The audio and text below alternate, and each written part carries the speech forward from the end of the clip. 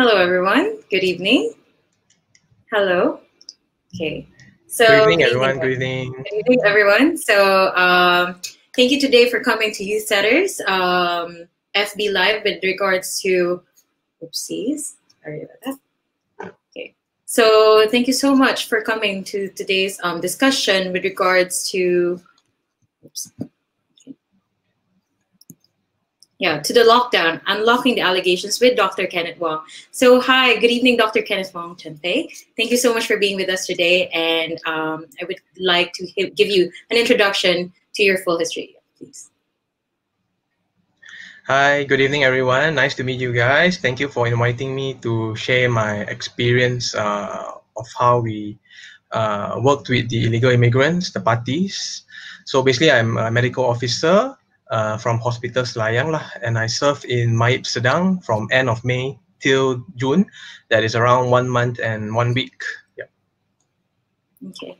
So um, we do both know, like, um, with regards to what happened to Al Jazeera's documentary and how they actually uh, tried to showcase what happened with regards to the um, to the immigrants or to the illegal immigrants who had like the uh, the COVID cases in here. So please do tell us your uh, your experience in dealing with the lockdown at the immigrants area as a frontliner. So as a frontliner, um, I serve at MAEPS lah. So MAEPS uh, is a special place where the government built up. Uh, initially, it was like a makeshift hospital where they come out with thousands of one about thousand beds to uh, hold and contain all the COVID-19 patients lah. It's a quarantine center. So um, when I entered MAEPS, uh, it was around the end of May. Initially, it was uh, taking in locals in MAEPS. Mm-hmm. Then eventually, when the cases of uh, PATIs lah, pendatang asing tanpa izin, the illegal immigrants, the number of COVID cases increasing in PATI numbers, then eventually MAEPS became PATIs only. So we have been taking about 700 to 800 uh, PATIs, and that is a very big number lah. So all these patients actually um, come to our center. We treat them for free. Uh, we provide them free food, three meals per day, good food. Then after that, even provide them clothes. We provide them a proper ward um, with aircon, with proper toiletries, and also um, we treat them as normal human beings lah. Just like how we treat a local citizen, that's how we treat the PATIs. And in MAEPS actually we actually um, help a lot of them by uh, treating what underlying condition they had. So we actually did uh, many blood tests for them you know. Each patient that comes in we actually will take uh, bloods actually to check their full blood count we check their kidney we check their liver we check their infection cells in their body. So we actually do a comprehensive uh, blood test for every PATI that is admitted everyone that's admitted, we will check uh, freely for them, lah, which the cost is covered by the government of Malaysia. Okay. So are there any other, um, with regards to that, I'll have a follow-up. Um, with regards to that, do they need to present anything, the PATIs that we're talking about, do they need to present anything from their end? Or like, can anyone just come in or they, do they need any, um, let's say an advisory or a letter coming that I have, like, I have these symptoms and the doctor said, like, just go in here do do they actually know what's what was happening behind it? Um, most of them, they were told that they will be sent to a quarantine center where they come from, uh, from a depot or somewhere lah, where they come from. They are just sent to the center lah, for quarantine for 14 days to be taken care of. Lah. That's what I can say, yeah. Mm. Okay, okay. So uh, now that we know that this is actually what was happening, and um, again, I would like to clarify both the Padis and the locals were treated in the center free of charge during the quarantine period. Yes, initially locals, then mm-hmm. after that, mm-hmm. eventually after that, Padis, even yeah. became Padis. Mm-hmm. Okay. And all free, yeah. Okay. So, oh, okay. Um, by the way, if you have any questions, please feel free to send us your comments down below, and um, we would, um, as much as possible, we could, we would love to answer it to the best of our abilities.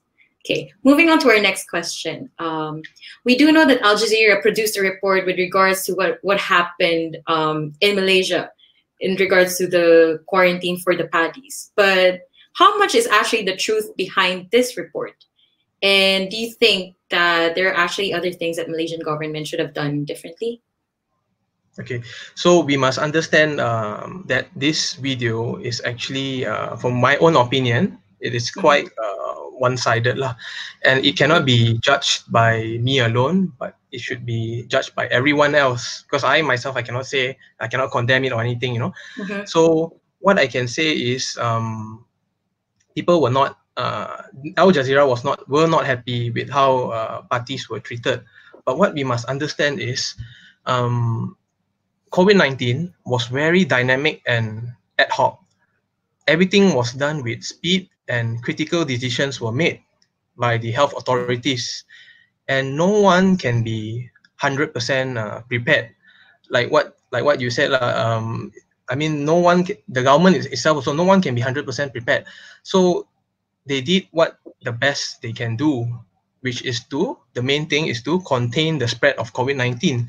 So no matter um, what was done, it was done to stop the spread. Number one, stop the spread of COVID 19. And it was done according to the rule of law. And coinci- coinc- coincidentally, that when they um, checked for COVID 19, most of the patients were PATIs, they were illegal immigrants. So, and they were caught according to the rule of law, according to the Immigration Act. And um, after they were caught, eventually they were sent to the depots. So um, all I can say is what the health authorities did, they did their best lah in what they can do. Because if they did not take the strict measures, COVID-19 would have spread further and we wouldn't have achieved what Malaysia has achieved today. That we have, example today, we have zero transmission of local cases for the second day in a row. And this is a great achievement by our country. So, yeah, they did what they can and what's best. Lah. Yeah, that is actually quite true. Uh, given that we're in the leads right now, or like we're one of the blueprints for containing this uh, this virus, actually, is quite a feat. Uh, given that we're like one of those, uh, we're one of the Southeast Asian countries who who had a huge hit at the at the first um first part of the first part of the year, right? Yeah. So given Sorry, like again, sorry. Oh, sorry. Yeah, I just wanted to say how like we actually achieved like great feats for basically Mhm, containing the virus, given that we had like a huge setback, especially during the first start of the year. And now that we're one of the, the leading countries in Asia for containing right. the virus, is already quite a feat. And um, I think we should give the the government um, some props, basically, for doing the best that they can to this uh, pandemic. That no one actually had any um, any plans on how to treat it, basically. So, um, do you think that they should have done anything more different than that, or do you think that they actually was they were able to contain it to the best of the, the best that they can? different like i said differently is hard to Mhm. say this is the first time Yeah. covid-19 appeared and this is the first pandemic that i ever Mhm. served also i'm only like 28 years old and this is the first pandemic i Mhm. see unless there's a next pandemic probably we'll be more prepared but touch wood we don't want to see another pandemic or we don't want to see another outbreak but i believe we will be more prepared the next time if we have one and maybe if we have one next time i don't know how old am i will i be here also to be serving in the front lines That is, oh yeah, that is true. Um, well, we do not hope like there's another one outbreak in for this year. That would be too yeah, much. right. nobody Yeah. knows Yeah, No one- can expect, right? You and I won't know. We won't know when Mhm. there's a next outbreak. Yeah. That is true. Um, but I would also like to know like the the sentiments behind your other frontliners, the other frontline workers, um, how they experienced it uh, behind the scenes. Do you have any other um, stories for them that we could share to the public? So uh, you mean my other colleagues? You mean my Mhm. colleagues? Yes, yes, yes, uh, yes. Yeah, frontliners. So um, Mhm.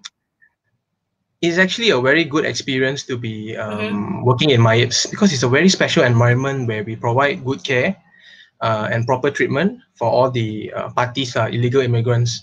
And most of the PATIs, they did not scold us or look down on us or shout at us or make any problems. We were nice to them and they were nice to us. So when we actually go in, you know, with that full suit and everything, you know, you come in like an Yeah. astronaut, people feel scared when they Yeah. see you. But they actually, when they see us, they will actually like salam us, like say hi. and things like that, you know. And sometimes maybe they cannot say they are in their own language. They actually will show a sign language where they say hi or mm-hmm. wave like that. Smile because they know that we want to help them. They know that we are not discriminating them or going to kill them inside or anything. You know, we are there to help them to um, recover from COVID nineteen. So all my colleagues actually had a good time, good experience uh, serving there. No issues.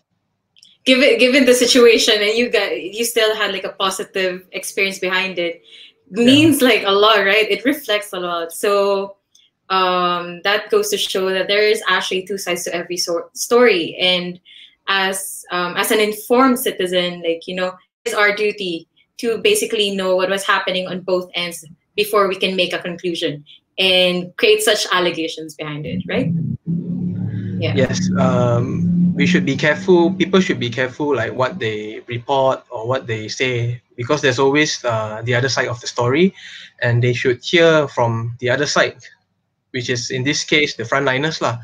Many frontliners can tell you a lot of stories, a lot of details and stories of what happened and what we did to help the illegal immigrants. Not only the illegal immigrants, but also those immigrants that are legal and also the locals. Because when all this happened, it was so fast.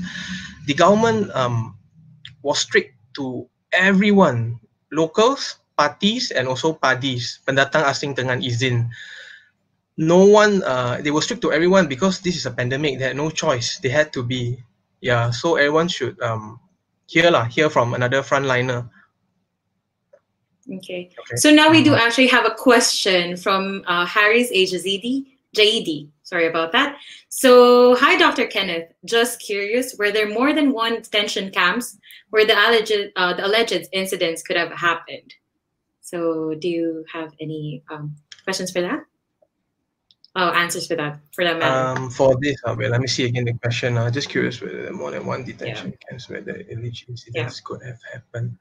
Um, I would not, I, I cannot be 100% sure on this, I can say.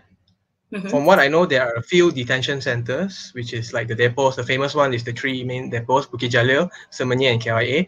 But I cannot 100% say that uh, if any of those incidents happen in other, other detention centers. Yeah. Okay, okay. So you can only say what, what happened on your end. Mm. Okay. Mm, yeah, correct. Yes. Mm-hmm. Okay. So now we'll uh, we'll move on to our next question. But before that, again, again, uh, please feel free to drop uh, drop down any comments, any questions, or anything that you have in mind uh, with regards here, with regards yeah, to this matter. Out. And yeah, and there's a shout out by the way from yeah. Shout out, shout out to my shout out to all uh, frontliners, especially uh, short one, uh, to all frontliners. Uh, again, thank you so much. Yeah, thank yeah, you so much again for the public. Yeah especially so to all uh, frontliners who were in all the hospitals, the main hospitals like Sungai Buloh mm-hmm. Hospital, and also all those who are working in MAEPS, PKRC MAEPS, all the MO specialists uh, did a really good job because it was it wasn't easy to manage such a big group of mm-hmm. patients. You know, we had like massive admissions, like 200 people come overnight.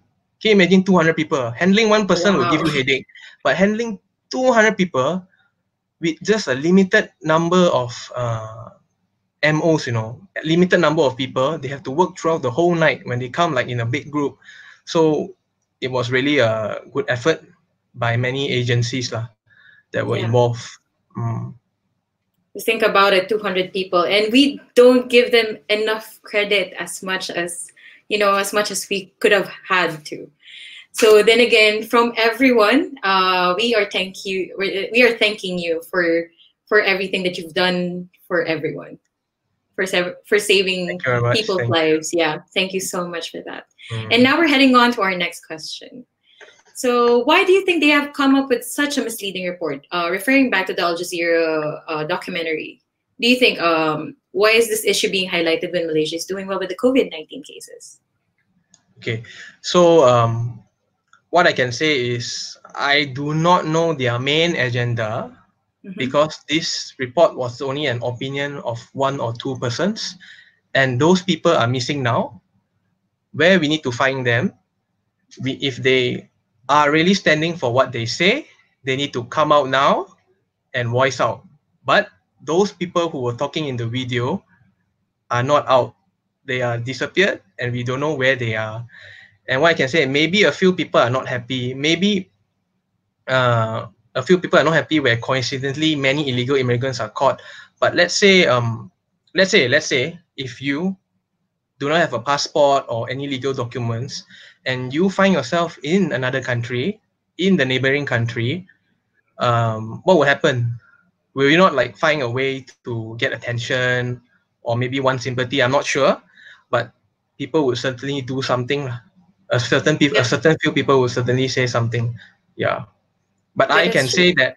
Yeah, but I can say that the treatment that we give is quite good. I think compared to uh, maybe other countries because like when you go to other country, let's say you have an illegal immigrant without any passport, documents, or any letters, will you be given three meals a day, and maybe a cup of Maggi and also a bottle of Jacker potato chips that are that is given to you, you know, and also a new toothbrush with toothpaste and also a new towel. Will you be given that? If you are an illegal immigrant from somewhere or wherever, will the government that uh, that you are in, whatever country where they give you that, that is something for us to ponder. Lah. That's something for everyone to ponder for Al Jazeera, for what they said. That is, yeah. that is true.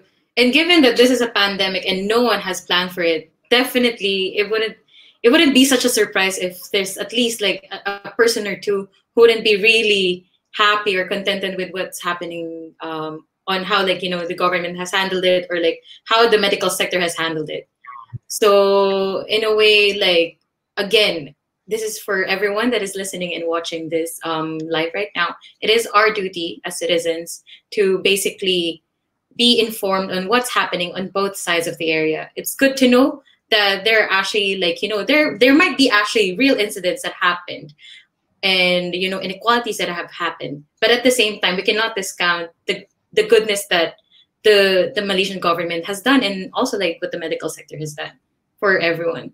And basically now um basically Malaysia's cases right now is a is a beaming testimony as to how they actually man they managed it quite well yeah. in comparison to to the other countries, right? So True. Then, then again they just yeah and then they just like spout it you know? And then again if you see that there's actually inequality happening it is your duty as well to help out those who are in need.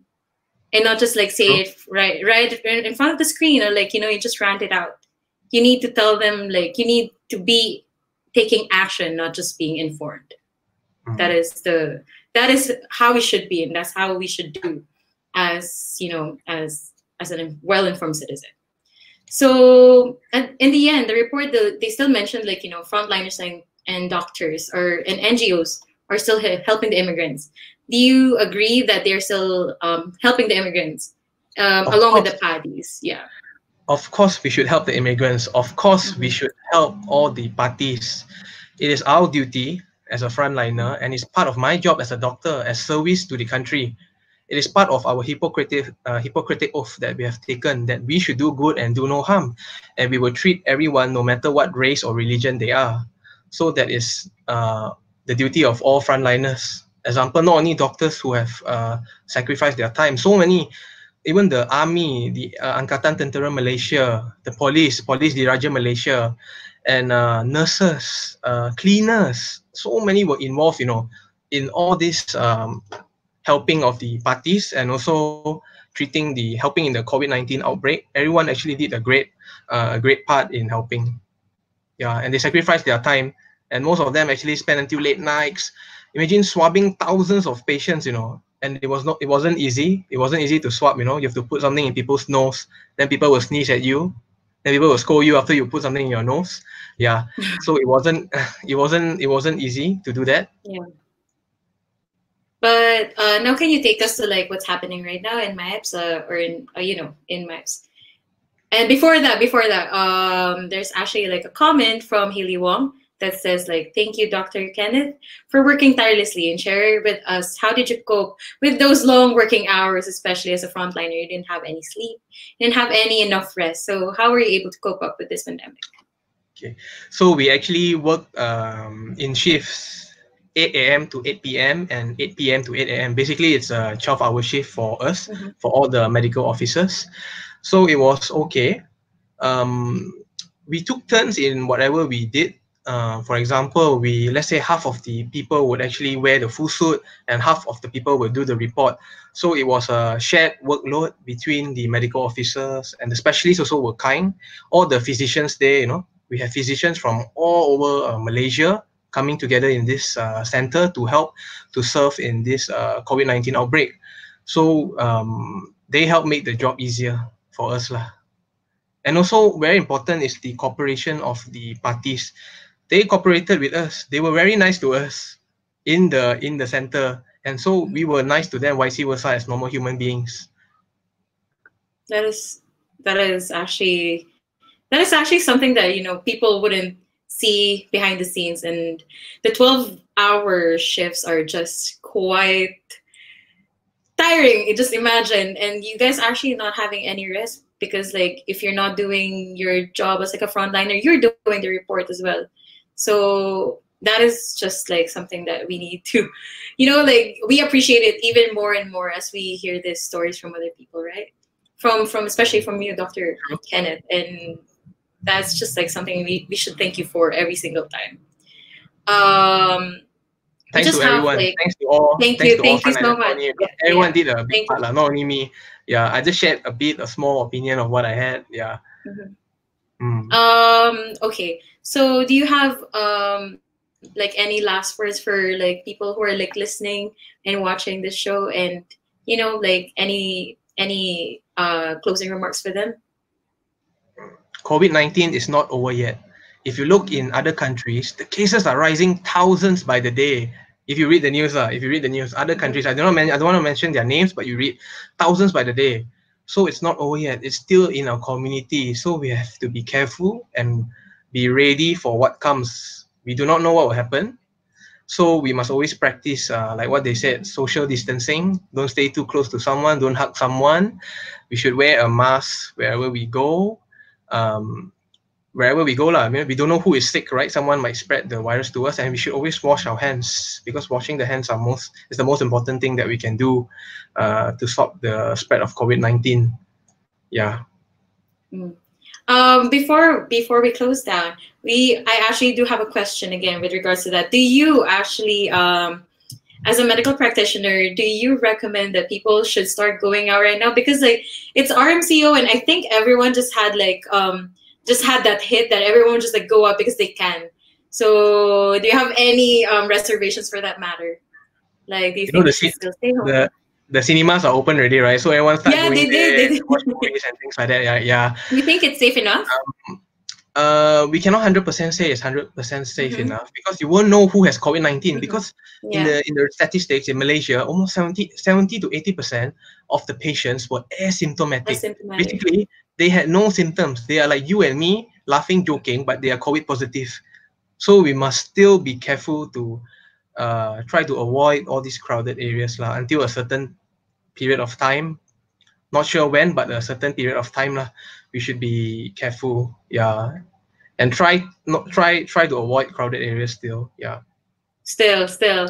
If you guys are still follow the I rules, mean, uh, follow the rules. Follow the rules, please. Wear your mask bring uh, stay like you know your hygiene keep keep it clean bring a sanitizer and practice and maintain social distancing and as much yeah. as possible like you can still like you know hold like only small gatherings because at the end of the day um these these rules and these guidelines are, aren't here just to like you know just to uh, piss us off or just like for nothing. It's here to take care of us and for, to keep us safe always. Yes. True. Yeah. True. And actually, Kanmani Aiba is also agreeing with with um, with our statement. So please and please wash hands after touching any surfaces, and always keep track, like with the with the um, with the QR services and like the MySelangor ones.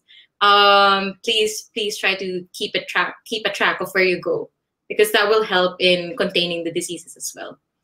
And also, Brian Lim is agreeing with us in learning how to live with the new norm do you think it's the new norm, doctor? like this, yes. um, the situation that we're currently in. Um, do you think that? Sorry.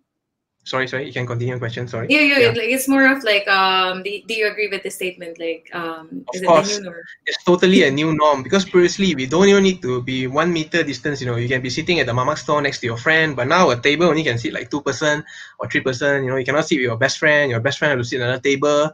You cannot um line up. You know, you have to have a big gap. Then you have to do that. You know, and people will find it like you know you have to fill in the box every time. You have to scan the QR code. We don't do all this previously, but now we have to do all of it. You know the reason why they they make you like copy everything you know and write the write the scanning the codes is actually for contact tracing in case if there's a spike in cases The outbreak, or yeah. there's an outbreak we can trace who were there you know and we can find find out and detect the cases and we can stop it soon as fast as possible. That's the main reason that's why they are doing it lah. but we have to? What? No choice? We- yeah. We have to, and it's also for us. Um, it's a minor conve- inconvenience, basically, for for keeping us safe, and it's a huge help for the frontliners and for the statisticians who will be taking care of the outbreak in case you know, um, God forbid, this happens again. So then again, uh, we are leaving the last minute for questions or any last words, any suggestions for everyone. So, Dr. Kenneth Wong, do you still Mem- uh, Hazim Hussein has said, apakah memori terindah anda ni di MAEPS? Oh, basically he's asking me what's the best what's the best Best memories in MAEPS, yes, sir. best memory in MAEPS lah. Best memories in yes, sir. um, getting awesome colleagues to work with. Yeah, maybe I can say that lah. Yeah, and also it's a good uh, new experience uh, to handle a pandemic because pan- pandemic doesn't come often. You don't see it um, every one year or maybe I don't know, but it, it certainly came this year. I mean, it certainly came in 2019. But working with good colleagues lah, because we get to meet uh, doctors from every uh, hospital in Selangor, because there were doctors from uh, Ampang, Sedang, Selayang Hospital. There were doctors from HKL Hospital Kuala Lumpur.